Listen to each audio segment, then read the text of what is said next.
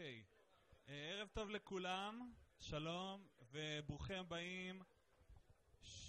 אוקיי, ערב טוב לכולם, שלום, ברוכים הבאים לעוד אירוע של וויז. אה, אנחנו מאוד שמחים שהגעתם באמת לפתיחת עונה מאוד חזקה שיש לנו, מי שלא עוקב אחרינו בפייסבוק. אה, אנחנו ממליצים להגיע לאירועים וגם להגיע מוקדם, כי אתם ככה, אנחנו תמיד שמחים לראות פה פאב מלא. אה, במיוחד באירוע הזה, זה אירוע שאנחנו עורכים בליין אה, שנקרא מורים על הבר, אה, שאנחנו עושים אותו יחד עם קרן טראמפ לחינוך, ולמרות שזה נשמע חיבור ככה לא מתאים, אז אנחנו מאוד רוצים מצד אחד להביא לכאן את הכיתה, זאת אומרת להביא לכאן אנשים שמלמדים חינוך, בשיטות, חינוך מדעי בשיטות מתקדמות ושיחלקו איתנו את הידע שלהם בנושא הזה, ומצד שני להביא את הפאב לבית הספר ובעצם אה, לבוא ולספר איך היום אה, במדינת ישראל מתמודדים עם נושאים אה, מדעיים גם דרך עין של מורים ומחנכים שנמצאים חלק מהשדה הזה של החינוך. אנחנו עושים את הפרויקט עם קרן טראמפ ואתם אה, מוזמנים לעקוב אחרינו. אני גאה להזמין את המרצה שלנו שהוא אחד מחמשת הפיינליסטים אה, לפרס טראמפ להוראה איכותית, שזה כבר מעיד על אה, מה שנקרא, מעיד על המעמד שהגיע אליו, דוקטור אמנון יוסף, להרצאה בנושא מאיצי חלקיקים, סודות היקום ובירה. בבקשה. ערב טוב, שלום לכם.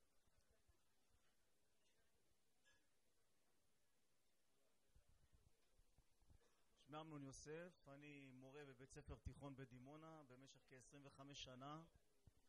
אני מלמד פיזיקה ופילוסופיה, ואני גם עובד באוניברסיטת בן גוריון, אני עובד במרכז אילן רמון למצוינות בפיזיקה, שמטפל בנוער ששואף ושוחר ללמוד פיזיקה ברמה שהיא מעבר לבית הספר, ומרצה במכללה להנדסה. הייתי רוצה לדבר איתכם היום על uh, מאיץ החלקיקים בסרן, מאיצי חלקיקים בכלל, על חלקיק הגילוי של חלקיק ההיגס, ומה מה עושים מעבר לזה, ודרך זה לספר לכם גם uh, קצת על העבודה שלי בתור מורה עם תלמידים. אנחנו רואים בתמונה, אנחנו רואים בתמונה את פיטר היגס מקבל את הבשורה שהחלקיק התגלה, בוודאות שהם היו מוכנים להצהיר עליה שהחלקיק הזה קיים.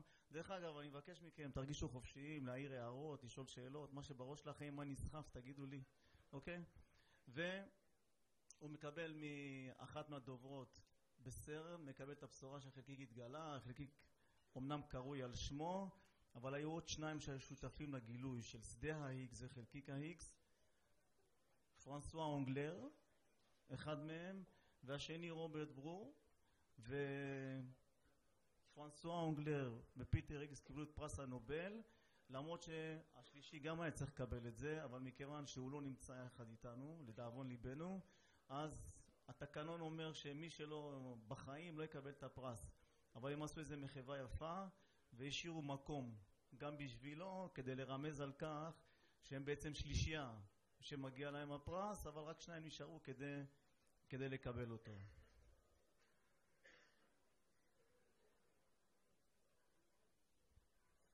אני מדבר קצת על המאיץ, ואחרי זה נדבר על החלקיקים, ואחרי זה נדבר על מה עושים החלקיקים בתוך המאיץ. אז המאיץ נמצא בסרן. סרן נמצא, זה המוסד המחקר שנמצא בפאתי ז'נבה, פה זה אגם ז'נבה, ומה שאתם רואים פה, הקו האדום הזה, זה מראה את התוואי של המאיץ. המאיץ נמצא כמאה מטרים מתחת לפני האדמה, ובאזור הזה מתנהלים חיים רגילים, כן? יש שדות וחקלאות ואנשים חיים וכולי וכולי, וכל מתחולל מתחת לפני האדמה, בעומק של כמאה מטרים בממוצע, ואפשר לראות הרי היורה פה, ואם לוקחים פה קצת ימינה, לא רחוק מדי זה הרי האלפים, מקום ממש יפה, והמאיץ מכונה ה-LHC, Large Hadron Collider. כי הוא גדול, ההיקף שלו 27 קילומטרים, אז בינינו זה משהו גדול, זה מכשיר גדול. ו-Hadron Collider, מכיוון שמה שהם גורמים להתנגש, הדברים שמתנגשים בתוך המאיץ נקראים פרוטונים. והפרוטונים שייכים לאיזו משפחה שמכונה הדרונים, collider, כי הוא גורם להם להימעך אחד על השני במהירויות מאוד גבוהות, וככה אם אפשר איזשהו איור שמראה איך זה נראה, פני השטח, והמאיץ שנמצא מתחת. בארבע מקומות על המאיץ יש את המקומות ששם מתחולל האקשן, יש ארבעה גלאים. כשאני מדבר על שניים מהם, כי שניים מהם עסקו בגילוי של חלקיק ההיגס. האטלס וה-CMS, הישראלים מעורבים יותר באטלס, רק ככה נראה לכם פרופסור מיקנברג שהוא אחראי שם על כמה דברים וגם עוזר לנו על המשלחות של תלמידים שנוסעות לסרן למשך שבוע שאני אספר עליהם בהמשך. ככה זה נראה, התעלה נראית, 27 קילומטרים כאלה חוץ מארבעה מקומות והדברים האלה מכילים בתוכם את המאיץ עצמו, בתוך המרכז של הצינורות האלה עוברים, עוברים אלומות הפרוטונים והם נמצאים בתוך שדה מגנטי מאוד מאוד חזק שנוצר על ידי משהו שנקרא מוליכי על. עכשיו מוליכי העל האלה, אני אדבר על זה בהמשך, אורך של כל יחידה כזאת היא כ-15 מטרים, זה המשקל שלה, 35 אלף קילוגרם, זאת המסה שלה, ויש יותר מאלף כאלה, וכל אחד עולה בערך כמיליון דולר, אז לרצף את התעלה במגנטים האלה זה לבד כמיליארד דולר, כן? לשים את כל החבר'ה האלה ככה מסביב זה כמיליארד דולר, וכאשר הפעילו את המאיץ לראשונה, לאחר תשעה ימים הייתה להם פדיחה פה במקום הזה, ואני מניח שסדר גודל של זרם בבית זה מספר אמפרים, עשרות אמפרים, אם אתם מכירים את היחידה של הזרם. מזגן, שני אמפר, שלושה אמפר וכולי. בית מודרני, אני מניח, 100 אמפרים, 120 אמפרים, אנחנו מדליקים את כל הבית, אתה יודע, עם כל המנורות מסביב וכל המכשור החשמלי למיניהו. הזרם שזורם בתוך הדבר הזה זה בערך 11,200 אמפר. זאת אומרת זה משהו שהוא מעבר לאיזשהו משהו שלא אפשר לראות בסביבה ואחד מאלה הייתה בו תקלה, הוא פשוט התפוצץ. פשוט התפוצץ אחרי תשעה ימים אז משהו שעולה כמה מיליארדי דולרים היה צריך להגיד אופס, להפסיק את העבודה שלו בערך כשנה. הוא התפוצץ, הוא פגע בעוד 80 כאלה לידו. נזלו כל מיני חומרים לתוך התעלות ולתוך הדברים האלה. הם הפסיקו את העבודה, החליפו ורק לאחר מכן, אחרי שווידאו שתקלה כזאת לא תחזור, הם התחילו לעבוד ולא במקסימום הספק של המאיץ. עבדו איתו, גילו את חלקיק ההיגס, במשך שנה, שנה וחצי הפסיקו את העבודה ועכשיו הם עובדים איתו במלוא ההספק. זה הרן האחרון שלו. אז uh, זה הסיפור, יש להם איזה בדיחה, מכיוון שההגמוניה עברה מארצות הברית לאירופה, האמריקאים אין להם דבר כזה, הם רצו ולא אישרו להם תקציבים ללמוד דבר כזה. המגנטים האלה יוצרו בארצות הברית והאירופאים חצי בדיחה ככה הם אומרים שהאמריקאים עשו להם בכוונה שאחד יתפוצץ. כן? זה תיאוריית קונספירציה כזאת. והמוסד אז זה המאיץ והמקום נקרא סרן זה בצרפתית אבל אני אתרגם את זה לאנגלית European Center for Nuclear Research לאחר מלחמת העולם השנייה, לאחר שהאירופאים ראו את הזוועות שהמלחמה הזאת חוללה, ואחד מהדברים הקשים שקרו באירופה זה נדידה של מדענים מאירופה לארצות הברית. איינשטיין כדוגמה, כן? הוא עשה את זה לפני, הוא עשה את זה בעלייה כאשר הנאצים עלו לשלטון והוא עבר לארצות הברית, אבל זליגה כזאת של מוחות הייתה כל הזמן, והאירופאים חשבו איך עוצרים את הזליגה הזאת.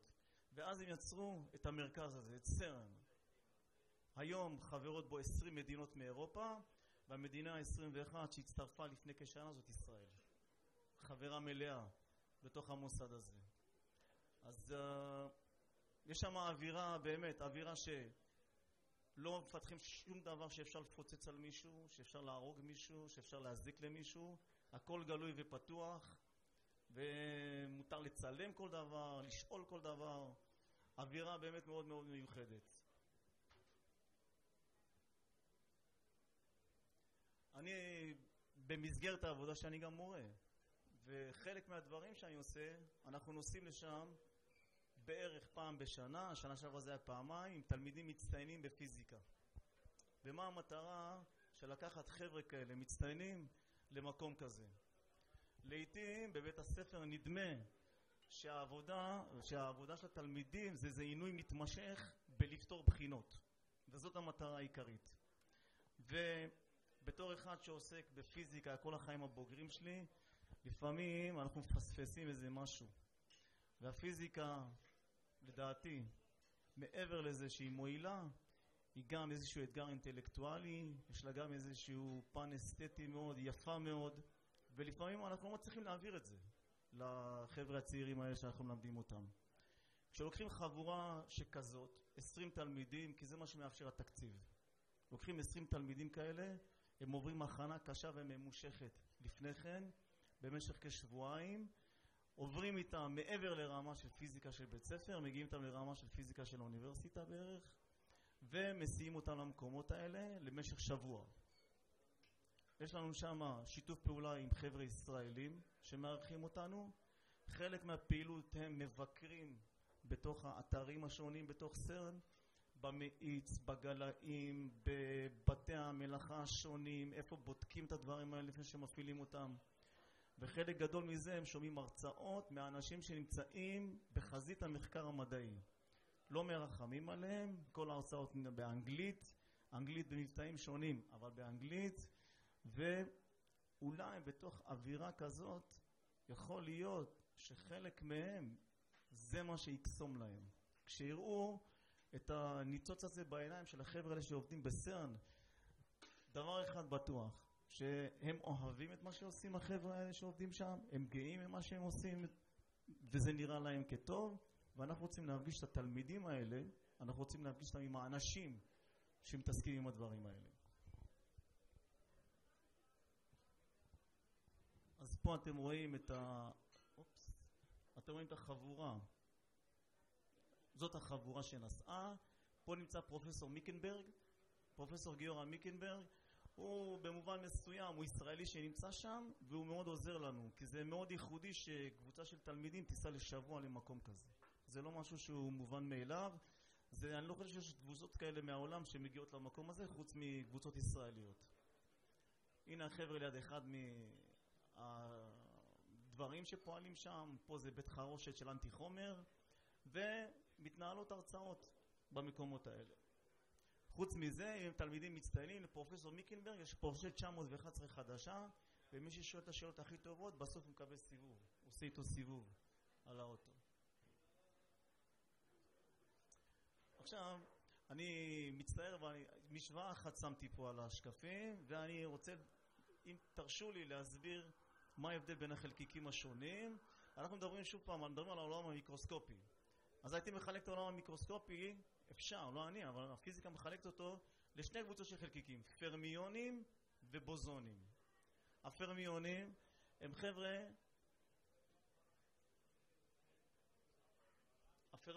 הפרמיונים הם חבר'ה שלא אוהבים להיות ביחד, אם יש להם את אותן תכונות. דוגמה לחבר'ה כאלה זה האלקטרונים. אולי שמעתם, אולי אתם יודעים, בטוח שמעתם בבית ספר שהאלקטרונים לא סובבים כולם באותו מסלול סביב האטום. הם סובבים מסלולים שהרדיוס שלהם הולך וגדל. והסיבה לכך שהם לא סובבים באותם מסלולים זה כי הם לא יכולים להיות באותו מסלול אם יש להם את אותן התכונות, אותן התכונות. לעומת זאת, הבוזונים יכולים להתקבץ ביחד ולהרגיש בנוח גם אם יהיו כולם ביחד באותו המצב. ומי שברא את העולם, תקראו לאיך שאתם רוצים, נתן, נתן תפקיד לאלה ונתן תפקיד לאלה ויש הבחנה ברורה ביניהם.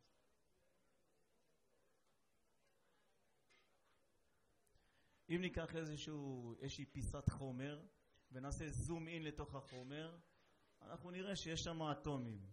אם נסתכל עוד יותר עמוק לתוך האטום, יש איזושהי תמונה נאיבית כזאת, שאנחנו אומרים שיש לנו איזשהו גרעין כבד מאוד, שסביבו סובבים האלקטרונים. אם נסתכל לתוך הגרעין, זה איזה אשכול כזה, נדמיין שזה כאילו איזה אשכול כזה של פרוטונים וניוטרונים. אבל זה לא הסוף. כי בתוך הפרוטונים והניוטרונים, כל ניוטרון, כל ניוטרון וכל פרוטון, בנויים כל אחד משלושה חבר'ה שנקראים קווארקים. הקווארקים שקיימים בטבע, שקיימים בנו, שמרכיבים אותנו, את הפרוטון מרכיבים שני קווארקים, אחד נקרא up, שניים שנקראים up ואחד שנקרא down. ולעומת זאת את הניוטרון מרכיבים שניים שנקראים down ואחד שנקרא up. הפרוטון שלו מטען חשמלי חיובי, זה יחידה אחת, והקווארקים דואגים שזה יסתדר ככה, והניוטרון באותו אופן. מבחינה חשמלית הוא ניטרלי.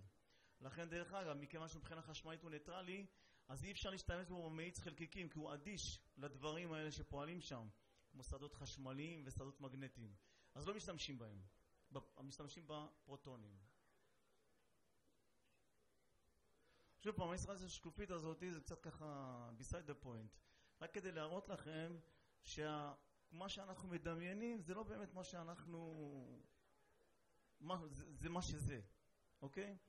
יש כאן מיקרוסקופ, המיקרוסקופ הזה נקרא Scanning Tunneling Microscope, STM, והוא מסוגל לראות עד רזולוציה של אטום. יש את המחט הזאתי, שבקצה שלה אפשר לומר שהעובי שלה הוא בערך אטום, והיא רואה איזה שהם פני שטח, איזה מצע כלשהו, והתמונה שהיא מקבלת, כל נקודה זוהרת כזאת זה אטום.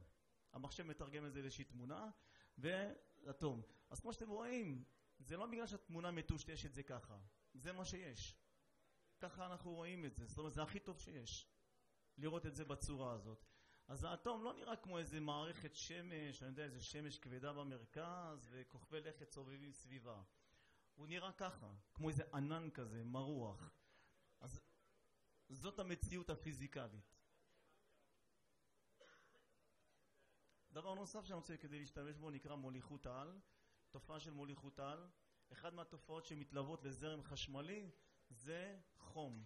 אם אנחנו לוקחים איזשהו מכשיר, תוקעים אותו לתוך הקיר לרשת החשמל וזורם בו זרם חשמלי, יתפתח בו חום.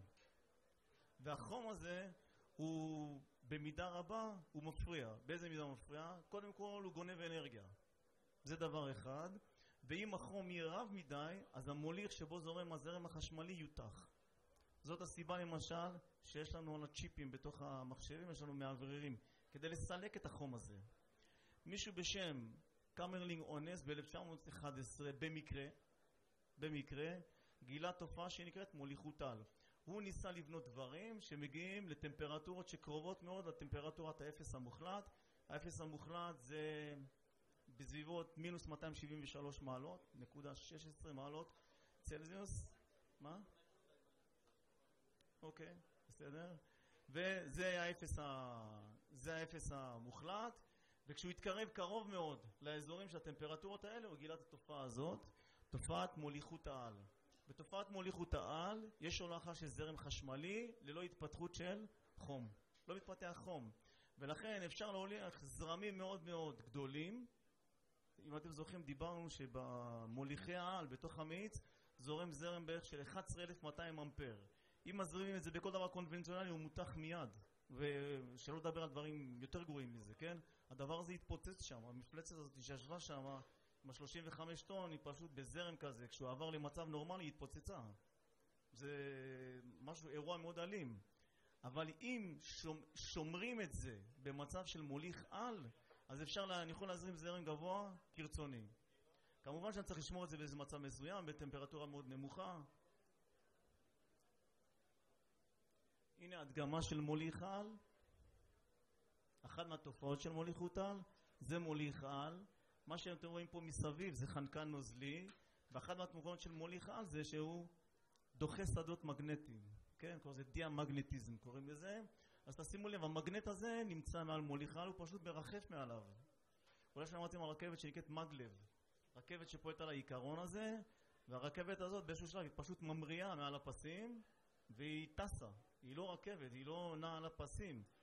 ואז מונים את כל החיכוך הזה, מסוגלים להגיע למהירות של מעל 500 קמ"ש הרכבות האלה, בגלל התופעה הזאת. שמגנט יכול לרחף מעל מוליך על. הם דוחים זה את זה. ועכשיו אני לא יכול להימנע מהמשוואה הזאת, תסלחו לי, אוקיי? איינשטיין גילה איזשהו עיקרון, והעיקרון הזה, אולי הנוסחה אחת מהנוסחות הכי מפורסמות שיש, E שווה M C בריבוע. כאשר E זה אנרגיה, M זה מסה ו-C בריבוע זה מהירות האור בריבוע. זאת אומרת, אם אנחנו ניקח מסה ואנרגיה, זה בעצם שני פנים של אותו הדבר. העיקרון הזה נקרא עיקרון השקילות, שקילות של מסה ואנרגיה. אז אם לוקחים, אם נסתכל פה, אם לוקחים מעט מסה, כופלים את זה במספר הגדול הזה, זה בערך 10 בחזקת 17, מקבלים הרבה מאוד אנרגיה. אז זאת השקילות של מסה ואנרגיה. אז מה עושים בעצם במאיץ? לוקחים פרוטון, מאיצים אותו למהירות של 0.9999991 ממהירות האור, וכשמאיצים אותו למהירות הזאת, האנרגיה שיש לו בגלל המהירות הזאת, בגלל האנרגיה הקינטית הזאת, היא בעצם שקולה למסה. המסה היא שקולה לאנרגיה. אז אם נותנים לשני חבר'ה כאלה מהירים להתנגש אחד מול השני, יש לרשותנו, ככל שהמהירות תגדל, יש לרשותנו אנרגיה זמינה בכמויות יותר ויותר גדולות. החלקיקים האלה מתעיינים באיזושהי צורה, הופכים לאנרגיה, ואז מהאנרגיה הזאת נוצרים חלקיקים שאני לפעמים מעוניין למצוא אותם. ככל שהאנרגיה תהיה גדולה יותר, החלקיקים שאני אוכל לקבל מההתנגשות הזאת יהיו חלקיקים כבדים יותר, וההיגס הוא כבד. זאת אומרת, היה צריך מאיץ כזה כדי לגרום לפרוטונים להגיע לאנרגיות כאלה, שמהאנרגיה הזאת של ההתנגשות יוכל להיווצר חלקיק שהוא חלקיק ה-X. במאיצים שהיו קטנים יותר, אי אפשר היה להגיע למסה כזאת, כמו של חלקיק ה-X. דרך אגב, המאיץ הזה, הוא עושה עכשיו את הסיבוב השני שלו. אנחנו היינו שם ושמענו על שבמסעדה שם בסרן מתחילים לדבר על מאיץ חדש שההיקף שלו יהיה 100 קילומטרים. אני, אני לא יודע אם אני אראה את זה, כן? אבל uh, זה לוקח הרבה זמן לדברים כאלה לקרות ולמרות שיש טכנולוגיות שהן קצת בוסר וקצת נמצאות בחיתוליהן, טכנולוגיות ששם אולי אני יודע מה, כל מה שמאיץ אחד כזה עושה בקילומטר הוא עושה באחד מטר אבל אני, זה ממש נמצא בהתחלה. זאת אומרת, אפשר לקחת מאיץ כזה, לשים אותו בגינה, והוא יעשה את אותם דברים כמו שעושה ה-HC. אבל זה סתם. בינתיים זה לא. בינתיים זה מה שעובד, ומפנטזים על מאיץ של 100 קילומטרים, כן? אז כל אירופה, כל העולם בנה מאיץ כזה של כמה מיליארדי דולרים, לכת תדעו מי יאשר לבנות משהו שזה נראה לידו כמו איזה בייבי קטן.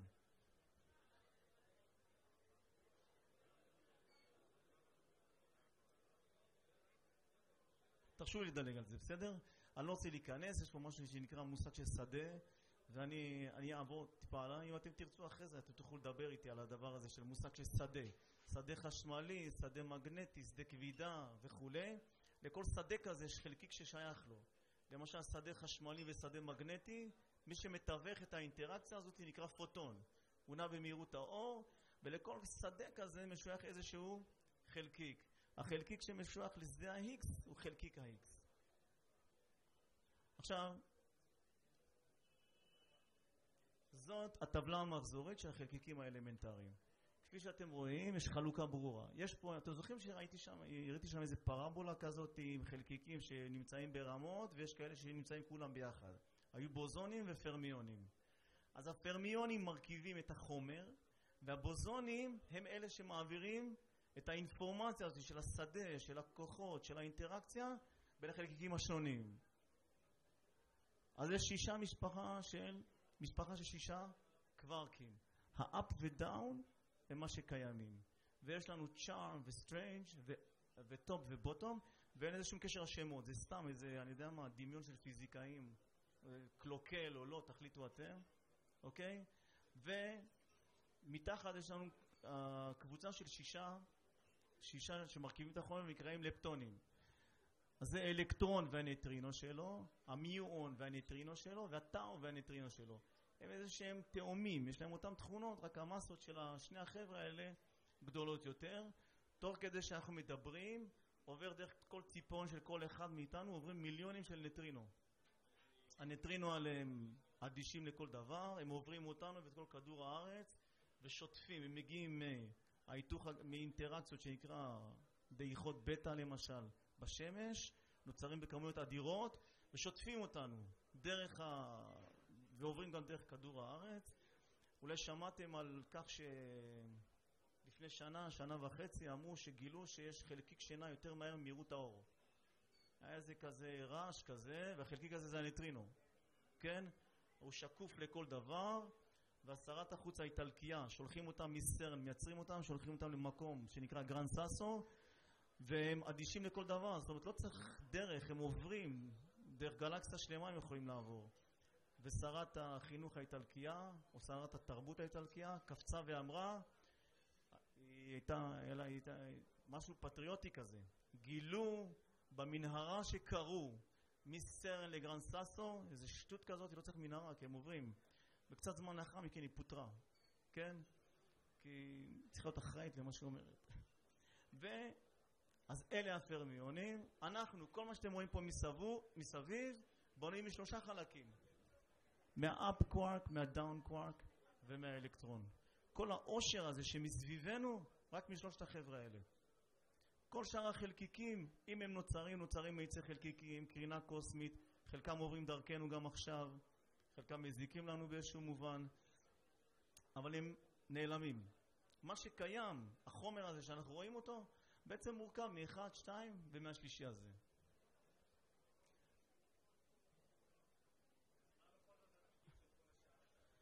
כל השאר, אז אני אדבר על זה בכל זאת. נניח יש פה מטען חשמלי ופה יש מטען חשמלי, אוקיי? יש חוק שנקרא חוק קולון והוא אומר שאם יש שני מטענים נקודתיים אז אחד אם הם זהה סימן אז הם אה, דוחים זה את זה ואם הם שונה סימן הם מושכים זה את זה, opposite attract. עכשיו, אנחנו לא מוכנים לקבל בפיזיקה שיהיה משהו שנקרא פעולה מרחוק. מה זאת אומרת? אם המטען הזה מפעיל הכוח על המטען הזה שמרוחק ממנו איזשהו מרחק אז uh, הוא לא נוגע בו. אז איך הדבר הזה קורה? אז מישהו בשם מייקל פרדיי המציא מושג שנקרא מושג השדה. כאילו מה, החלקיק הזה יש לו מטען חשמלי. תדמיין כאילו יש סביבו איזושהי הילה כזאת. ההילה הזאת זה השדה שלו. זה לא איזשהו תוצר שלו, ההילה הזאת זה הוא. עכשיו החלקיק האחר נמצא בתוך השדה הזה, ומה שהחלקיק מרגיש, לא שהאחד מפעיל כוח על השני, אלא שהשדה של האחד מפעיל כוח על השני. ולשדה הזה משייך איזשהו חלקיק, זאת אומרת עיניים שרואות הכל, היינו רואים חבר'ה כאלה, פוטונים, רצים ביניהם ומספרים, מעבירים את האינפורמציה הזאת על מה גודל המטען ומה המרחק ומה עוצמת האינטראקציה וכו' וכו' וכו'. אז אלה מרכיבים את החומר, כן, אני ואתה, ואלה מעבירים את האינפורמציה של השדות. עכשיו, תשימו לב שפה, אני לקחתי את זה מ- Scientific American שהיה לפני גילוי ה-Higgs, ויש פה איזה קו מקווקו. אלה החלקיקים של המודל האלמנטרי, כן? ו... והוא היה חסר. הוא היה חסר כדי שהמודל הזה יהיה שלם. ובגלל שגילו אותו, אז יודעים שהמודל הזה נכון. זאת אומרת, הוא היה חתיכה האחרונה בפאזל של, אה, של המודל שמתאר את כל האינטראקציות וה, והצורה שבה הדברים האלה מרכיבים את החומר. נקרא המודל הסטנדרטי, והיה חשוב לגלות אותו, המסה שלו מאוד גבוהה. אם המסה שלו מאוד גבוהה, צריך איזושהי מפלצת כזאת שנקראת LHC כדי לגלות אותו. אני רוצה שתחשבו, לוקחים פרוטון ונותנים לו להתנגש בפרוטון. עכשיו זה לא פרוטון שמתנגש בפרוטון, למה? כי כל פרוטון כזה זה ברדק של שלושה קווארקים ועוד איזה שמונה גלואונים. זה איזה ברדק כזה שמתנגש בברדק אחר. אז באמת מי שמתנגש זה לא איזה יחידה אחת מתנגשת כמו שני כדורי ביליארד או משהו כזה. זה איזה גלואון מפה מתנגש עם גלואון משם, איזה קווארק מפה מתנגש וכולי וכולי וכולי. זאת אומרת זה, זה משהו messy כזה, כן? ב-1975 היגס, פיטר היגס והחבר'ה האחרים את המאמרים שלהם בדבר התיאוריה שלהם פרסמו ב-1964. זה גם משהו שאפשר לחשוב עליו. ב-1964 הם הגו את הרעיון של שדה ה-X וחלקיק ה-X. לקחו 48 שנים עד שהטכנולוגיה הגיעה למצב כזה שהשיגה את השכל האנושי. אף אחד מאיתנו לא היה מוכן לקבל דבר כזה בתור משהו רציני, כן? לא משנה מה היחידות האלה, הם לא ידעו, זה בין 1 ל-100 אלף. זה בערך היחידות של המסה. זאת אומרת, ב-1975 עוד הם ככה גיששו בחשיכה בקשר למציאה של חלקיק ה-X.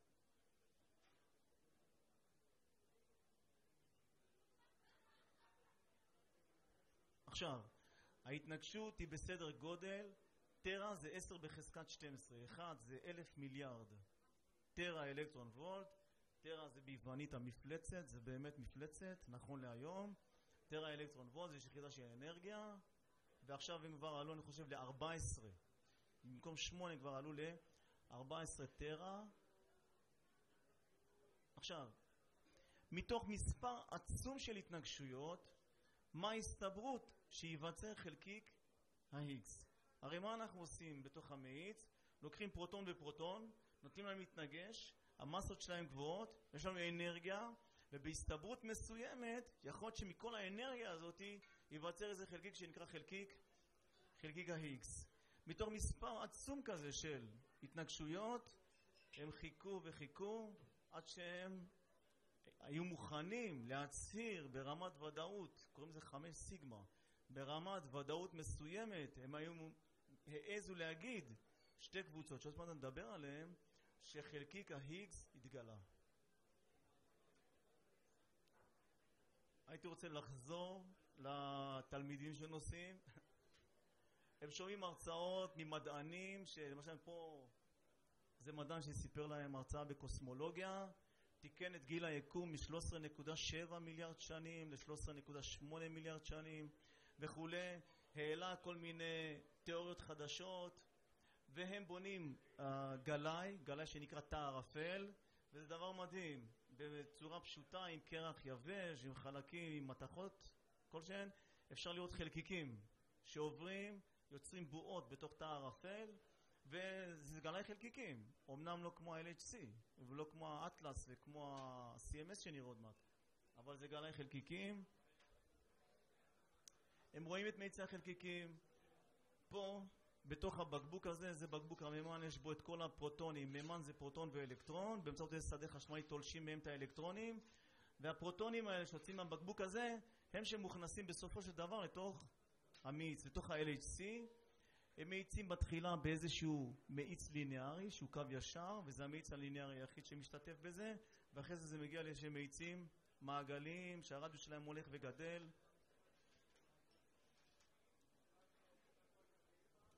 יש כאן מאיץ שמאיץ עופרת כן, כל הדברים האלה רואים אותם. ברגע שמבינים פעם אחת איך מאיץ עובד לא משנה מה הגודל שלו כולם עובדים באותה צורה. עכשיו אז יש את המאיץ ה-27 קילומטרים היקף. בתוך המאיץ הזה יושבים ארבעה גלאים, שאם מדברים על ההיקס, שניים מהם זה מה שמעניין אותנו. אז האחד נקרא אטלס, והוא נקרא אטלס כי הוא גדול, כן? הנה הוא כשהוא לא כל כך מלא, אתם רואים פה דמות של אדם, אז אתם יכולים להעריך את הגודל של הדבר הזה. הוא ענק, פשוט ענק, כן? וישראל היא שותפה בעיקר באטלס. חלקים של חברות ישראליות ומדענים ישראלים שותפים בגלאי הזה. ו... uh, לב איך הם אילצו את ראשי התיבות להיות אטלס. הם לקחו A שזה לא מילה. אחרי זה הם לקחו טורוידיול זה בגלל הצורה הזאת של השדה המגנטי פה זה בסדר. אחרי זה השתמשו בראשי תיבות כדי שתהיה להם L, LHC אפרטוס היה להם את ה... A, אבל חסר להם את ה-S, אז הם לקחו את האות האחרונה, העיקר שהם דאגו שזה יהיה בסוף אטלס, אוקיי? והגלאי השני נקרא CMS. המסה של זה, האורך מפה לפה 27 מטרים, לעומק 47 מטרים, זה משהו ענק. מגיעים ליד זה, אתה עומד ליד זה, אתה עושה וואו, אתה עומד ליד איזה מרפסת קטנה, כן? למה הוא כזה גדול? כי אחרי שההתנגשות הזאת מתרחשת, נוצר ערב רב של גן חיות של חלקיקים. עכשיו החלקיקים האלה, אתה רוצה לדעת ממה הם התחילו. כי אחד מהדברים שהם התחילו מהם יכול להיות חלקיק ה-Higgs.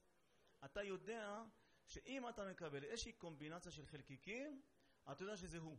זה טביעת האצבע שלו. אז אתה מחפש כאלה. מתוך 10 בחזקת 12 התנגשויות, תמצא כמה מאות כאלה. עכשיו, חלק מהם הם אדישים לכל מיני דברים. זאת אומרת, כדי לתפוס אותם, אתה צריך לרוץ אחריהם מרחק. נת... הקוטר גדול, כי הם עפים לכל הכיוונים, הם לא עפים רק קדימה, הם עפים לכל עבר. אז אתה צריך לתפוס אותם, אם אחד עף קדימה, אתה צריך לתפוס אותו בזווית מסוימת. אבל אם אחד טס לכיוון אחר, אז אתה צריך לתפוס אותו גם שם. אז הדברים האלה, אז יש כאלה שנתפסים בליבה של הגלאי, כן? איפה שמתרחשת ההתנגשות. עכשיו, אבל לא, לא כולם עושים לנו את זה. אז יש את המיונים שהם רצים רחוק, וכדי לתפוס אותם אתה צריך שכבות גדולות, ולשכלל את הדבר הזה, ואתה משלם על זה בגודל, אוקיי? אז אתה, אתה חייב, כדי לדעת, לנתח טוב את מה שאתה עשית, אתה חייב לדעת את כל מה שנוצר מכל אירוע. רק אם אתה תדע מה נוצר מכל אירוע, תדע ממה הוא התחיל. וזה מה שאתה רוצה. לדעת מי זה שיצר את הדבר הזה. עכשיו, יש גלאי נוסף, הוא נקרא CMS, וקוראים לו קומפקט. הוא לא קומפקט בכלל, הוא שוקל 15, הוא שוקל פי שתיים, פי שתיים וקצת מהאטלס, אבל קוראים לו קומפקט כי הוא בקוטר קצת יותר קטן. זה האטלס כשהוא מלא יותר ויותר uh, מהפרטים שצריכים להיות בו, וזה ה-CMS, זה במצב שבו הוא בתיקון, לא בתיקון אלא ב-upgrading. כשהוא סגור, הדבר הכהה הזה נכנס פה בפנים, ובמרכז של שני הגלאים נותנים לשתי, נותנים לאלומות הפרוטונים לנוע בשני צינוריות כאלה, אין אינטראקציה בין הפרוטונים, ורק בגלאים עצמם נותנים להם להיחתך, ושם מתרחשות ההתנגשויות במרכז של הדברים האלה. דרך אגב, המספרים הם כאלה, בכל בנץ' כזה של פרוטונים יש 10 בחזקת 11, יש 100 מיליארד, יש 100 מיליארד פרוטונים. 100 מיליארד פרוטונים מגיעים מכיוון אחד, 100 מיליארד פרוטונים מגיעים מכיוון אחר. הם מתנגשים ביניהם, אבל הם כל כך קטנים, שאם 100 מיליארד עוברים דרך 100 מיליארד, יש בערך 200 התנגשויות. הם לא מרגישים אחד את השני.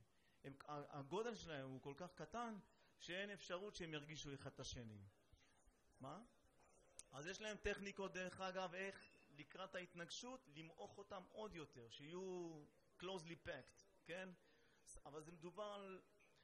אבל בגלל שיש עקרונות בפיזיקה שאומרים שאם את דוחסת אותם מצד אחד, הם מתפשטים לכיוון אחר. כאילו אי אפשר לנצח אותם עד הסוף בדבר הזה. עכשיו אם רוצים לעשות את זה, צריך להגיע כבר לשדות מגנטיים וטכנולוגיות שעוד לא ברשותנו. אפשר לרשום את זה על הדף, אבל אין את הטכנולוגיה הזאת עוד, ועוד מחפשים אותה, אוקיי? אבל uh, זה כאילו זה נמצא ממש על הקצה. מבחינה טכנולוגית זה משהו מופלא. אבל זה, זה מה שזה עושה. אז uh, זה המספר, וכל אחד כזה, כל בנץ' כזה, עושה סיבוב סביב המאיץ כל 25 ננו שניות. זאת אומרת, כל 25 מיליארדית שנייה, כל אחד כזה, כל חבילה כזאת היא עושה סיבוב של 27 קילומטרים מנקודת מבטו של הפרוטון, בגלל יחסות פרטית של איינשטיין, תשאלו את הפרוטון, פרוטון פרוטון, איזה מרחק אתה עשית? הוא יגיד שזה כמה מטרים. ה-27 קילומטרים במהירויות האלה נדמות כמו מספר מטרים. אז זה, זה, זה הסדרי גודל של המהירויות של הפרוטונים האלה. ככה זה בנוי, ואתה שאלת, מישהו מכם שאל בקשר למה הדבר הזה כל כך גדול. אז אם אני מסתכל על זה בצורה ליניארית, אז לכל שכבה יש תפקיד. כל שכבה יש תפקיד, וכל שכבה יכולה לעשות, יש לה אינטראקציה עם חלקיקים מסוימים, וכל שכבה יכולה לשים, לספור איזה משהו מסוים, לדעת מה האנרגיה שלו, וכולי וכולי. אוקיי? אז זה ככה האטלס בנוי, ככה ה-CMS בנוי. אתם רואים שהחלקיקים נעים לכיוון אחד, אפשר לדעת, אם הוא עושה עקמומיות לכיוון אחד, יש לו מטען חיובי. אם הוא עושה עקמומיות לכיוון אחר, יש לו מטען שלילי. לפי מידת העקמומיות אפשר לדעת מה האנרגיה וכולי וכולי, וככה אפשר לדעת מה החלקיקים, מה החלקיקים שאלה שנוצרו בהתנגשות, וזאת המטרה בעצם. ככה זה נראה. עכשיו תראו, בואו נניח, מה שאתם רואים פה עכשיו זה 29 התנגשויות. זה מה שיש פה. 29 התנגשויות בצבעים שונים. עכשיו תחשבו מה המחשבים צריכים לעשות. מחשבים צריכים לעקוב אחרי כל החלקיקים ולדעת כל חלקיק באיזה התנגשות הוא נוצר, אפשר לראות את זה פה. אתם רואים פה נקודות כאלה שמהן הכל מתחיל. והמחשב יודע, מחשב יודע לחזור אחורה ולדעת כל חלקיק מתי הוא נוצר, לאיזה התנגשות הוא נוצר, וככה לתאר את כל ההתנגשות. זה, זה נראה נורא, כן? והם עושים את זה שנה, כל הזמן, ומצליחים לעשות את זה כמו שצריך.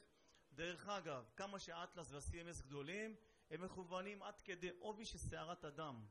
אם הם לא יהיו מכוונים, יפספסו עד כדי עובי של שערת אדם, התוצאות לא יהיו ראויות לדבר עליהן. עד כדי כך הדיוק גדול, האטלס הרגיש את הצונאמי ביפן. זאת אומרת, הוא זז קצת. יש איזו רכבת שזזה בשמונה בבוקר, מתחילה לנסוע, הם גילו שכל פעם בשמונה בבוקר יש להם איזה רעש. לא הבינו מאיפה הדבר הזה מגיע. והדבר הזה מגיע כי הוא מרגיש, הם כל כך גדולים, אבל הם מאוד מאוד רגישים. כן, זה איזשהו פרדוקס כזה. ככל שאנחנו רוצים לראות דברים קטנים יותר, המיקרוסקופים, זה מיקרוסקופ גדול, אז המיקרוסקופים נהיים הרבה יותר גדולים. אז זה מה שהם עומדים בפניו, ככה נראית התנגשות אחת. ככה נראית התנגשות אחת, ערב רב של דברים שנפלט, שמת ונוצר, ומישהו צריך כל הזמן לשחזר את זה. אז יש פה גם, זה לא מקום ש... מעט פיזיקאים עובדים בסרן. מי שעובד שם זה מהנדסים, כי הם צריכים להתגבר על כל הטכנולוגיות האלה. הפיזיקאי יכול לזרוק משהו, מישהו צריך לייצר את זה. אנשי מחשבים, שצריכים את כל הידע הזה, כן, את כל הכמות האדירה של הידע הזה להפוך לאיזה, איזשהו משהו שאפשר לעבוד איתו. דרך אגב, כל התנגשות כזאת זה כמו חצי CD, שנה של עבודה של ה-LHC זה כמו דיסקים מפה עד לירח, משהו בסדר גודל כזה. אם לוקחים את כל האינפורמציה ושמים על דבר כזה, אוקיי?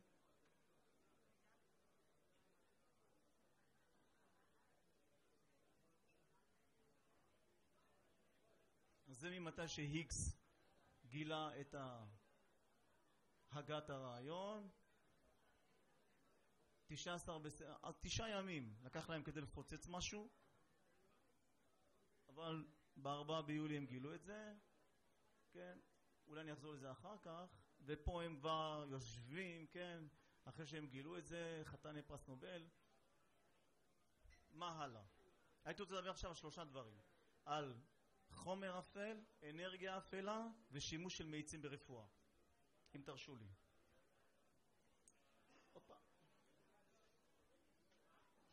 יש כאן תמונה של גלקסיה ספירלית, זה כמו גלקסיית שביל החלב שאנחנו נמצאים, זו השכונה שלנו, משהו כזה. גלקסיה של שביל החלב, הקוטר שלה בערך 100 אלף שנות אור, זה הקוטר שלה.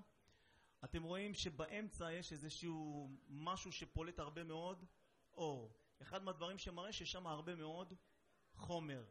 ואחרי זה אם אתם רואים יש פה ספירלות כאלה, זרועות כאלה שיוצאות מהגלקסיה.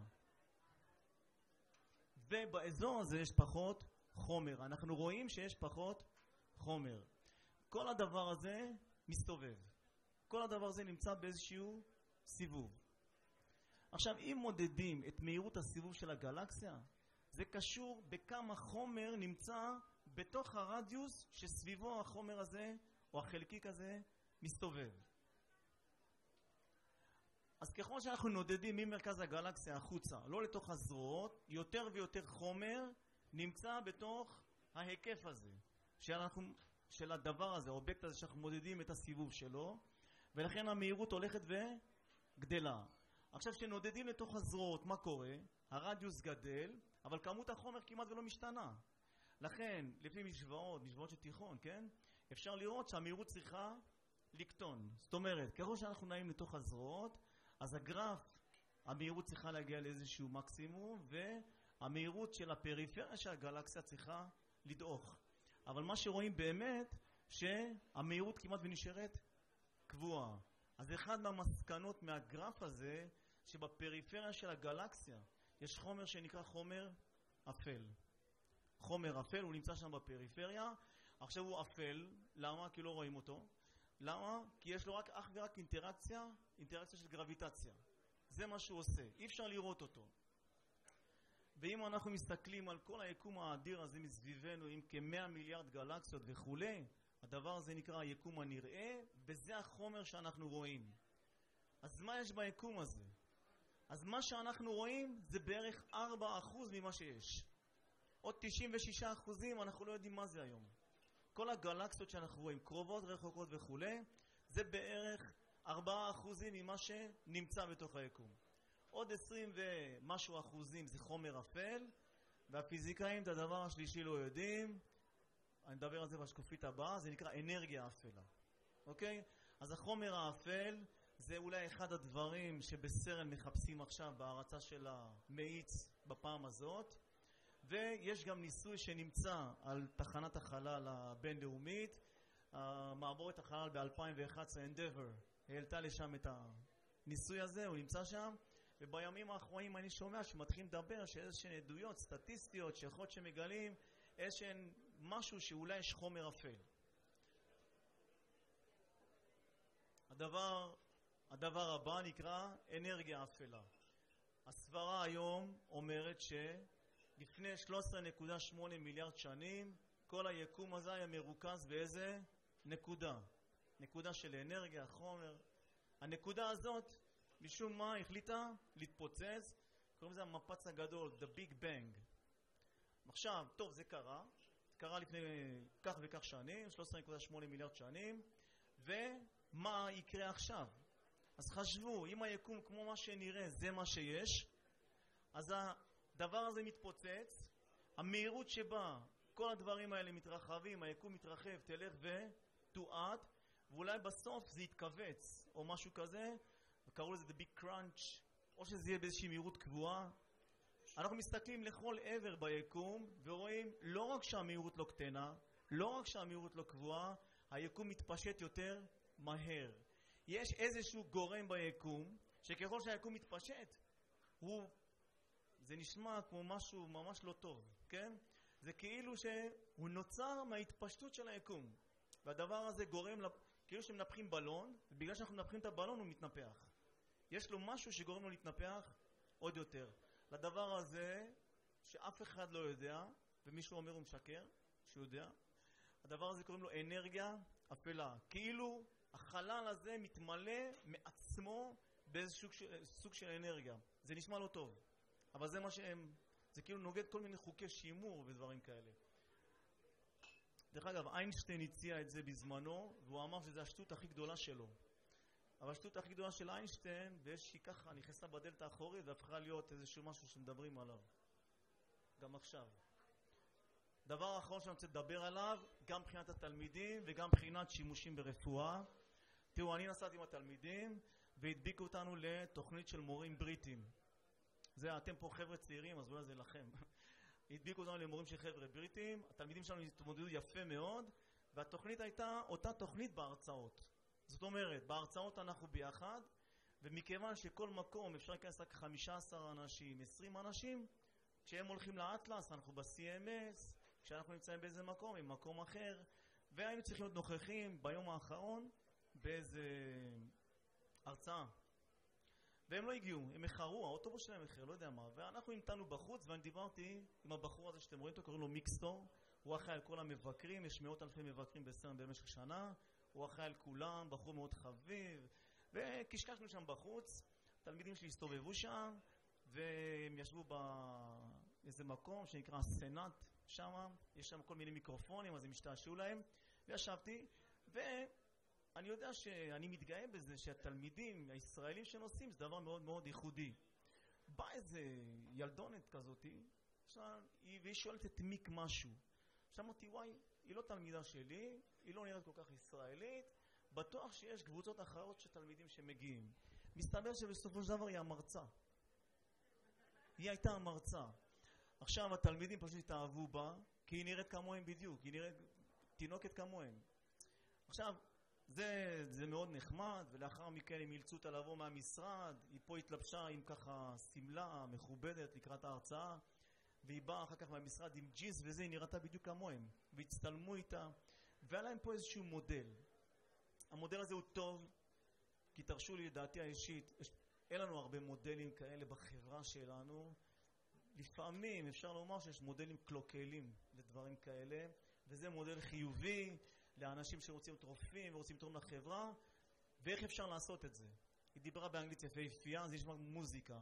האנגלית היא מבטא הודי כזה, עם מילים של ספרות, היה מדהים. והתלמידים מאוד מאוד נהנו, ומאוד מאוד התחברו לזה. אבל מצד שני זה משהו מדאיג, כי היא כל כך צעירה, והיא עוד מעט תהיה פרופסור. זאת אומרת, אין זמן. עכשיו, אנחנו, יש לנו משהו שנקרא צבא. אז יש לנו כבר דיליי מאוד רציני. החבר'ה האלה מסיימים תיכון, הולכים לאוניברסיטה. ולכן, אין הרבה זמן. איינשטיין, את כל התגליות הגדולות שלו, השנה המופלאה שלו, עשה את זה בגיל 24.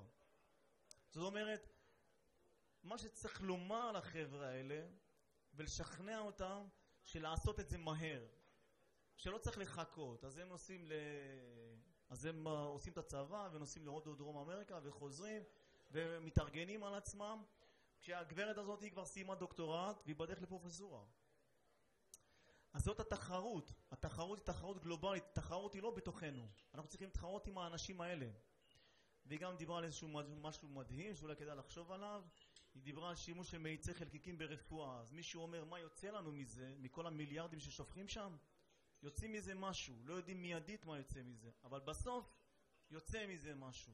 לא מתכוונים לזה, אבל יוצא מזה משהו, ותסתכלו על טיפול, שכשאני שומע על החולאים של מערכת הבריאות שלנו, אני ממש לא מבין מתי זה יקרה אצלנו, שלא נדע, כשמישהו חולה סרטן, אחד מהטיפולים זה טיפולים של הקרנות. לוקחים קרינה אלימה מאוד, קרינת גמא, ומקרינים אותו. הגידול נמצא בתוך הגוף, והקרינה הזאת, עד שהיא מגיעה לגידול, מאבדת מהאנרגיה שלה ופוגעת ברקמות בריאות. זאת אומרת, הגידול אנחנו הורסים, נגיד, אבל הנזק בפריפריה של הגידול, או בדרך לגידול, כל כך כבד, אנחנו גם הורסים רקמות בריאות. וממאיצי חלקיקים, אז אם אנחנו עושים את זה עם הקרנה של קרינה אלקטרומגנטית, מה שאנחנו מכירים, מה לא מכירים, נקווה שלא מכירים, אבל זה מה שמדברים עליו בבתי חולים, לעיתים עיבוד האנרגיה כל כך גדול, שאם אפשר מקרינים בן אדם משני הצדדים ב-110 אחוז, זאת אומרת 220 אחוז, כדי שעל הגידול יהיה 100 אחוז. אומרת 120 אחוזים נוספים נספגים בתוך רקמות בריאות והם מזיקים, הם מכסחים אותם.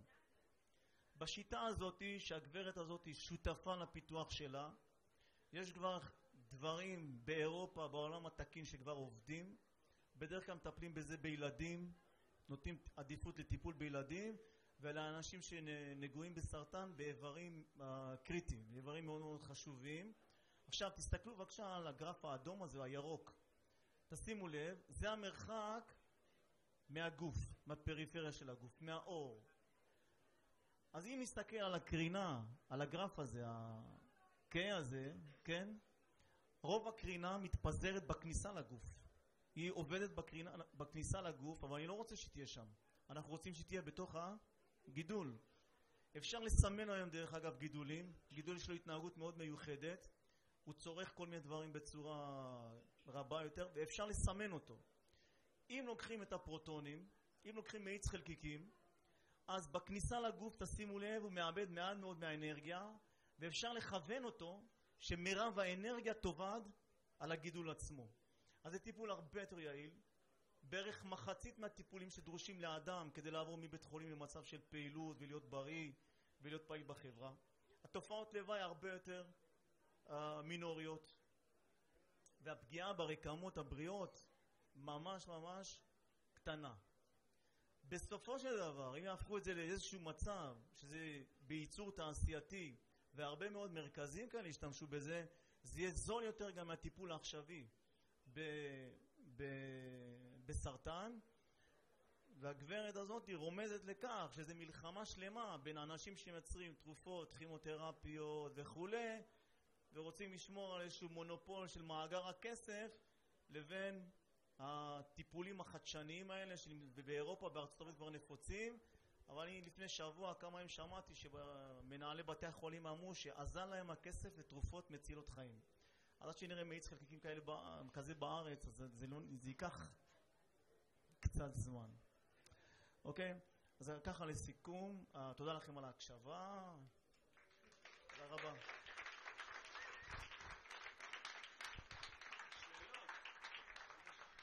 אם יש שאלות, בבקשה.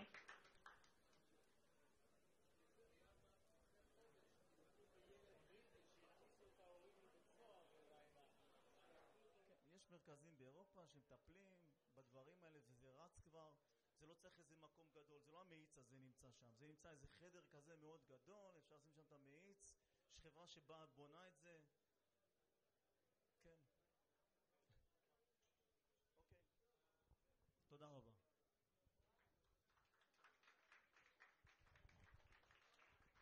אוקיי, אני רוצה להודות לאמנון, שנייה, אל תלך. יש לנו כאן uh, תעודת הוקרה בשבילך, שאני אקריא לאמנון, uh, אנחנו מקווים שבזכותך אה, רבים וטובים יפנו לתחום החינוך וההוראה ומודים לך על התרומה לתרבות הלילה בישראל, אז בבקשה.